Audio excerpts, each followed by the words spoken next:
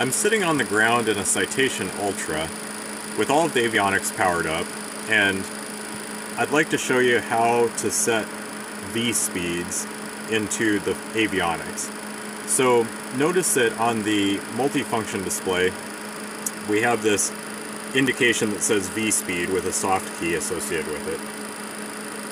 And I also want to point out that up here on the airspeed tape, we have some V speeds that appear on the airspeed tape. V1, VR, V2. These are linked together. So when we're preparing for takeoff and landing, we can press that V speed key where it says takeoff speeds. I can press that and it will let me set V1, VR, and V2. I can start by setting a V1, we'll call it 89, uh, or, you know, just to show you how this works, I can twist it to 90.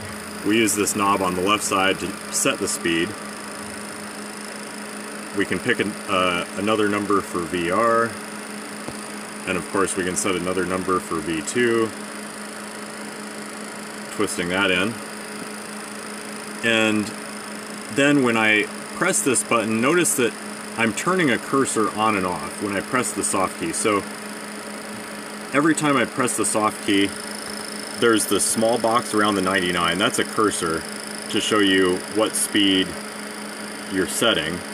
And then if it's if the uh, if the big box is around both the V, VR, V1, V2, or the number, that indicates that it is being displayed up here on the airspeed tape.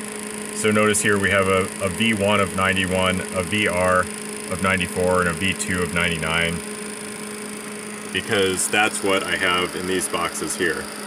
Now if I unbox each of these speeds by pressing those soft keys again, it turns them off on the airspeed tape.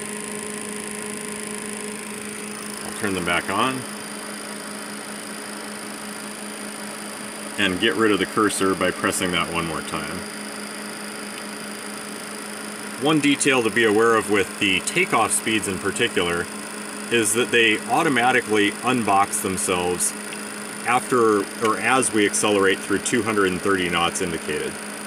So on takeoff as we're climbing out, if we never actually reach 230 knots, if we're always slower than 230 in the climb, these speeds will not unbox. But if we accelerate through 230 knots, they turn themselves off and will no longer be displayed on the airspeed tape.